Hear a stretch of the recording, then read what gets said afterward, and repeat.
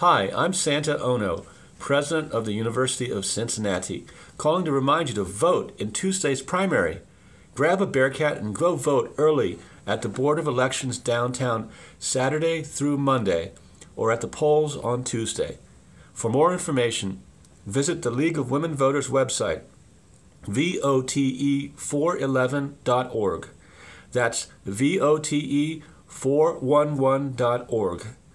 Voting is our chance to stand up for our families and our communities, so see you at the polls.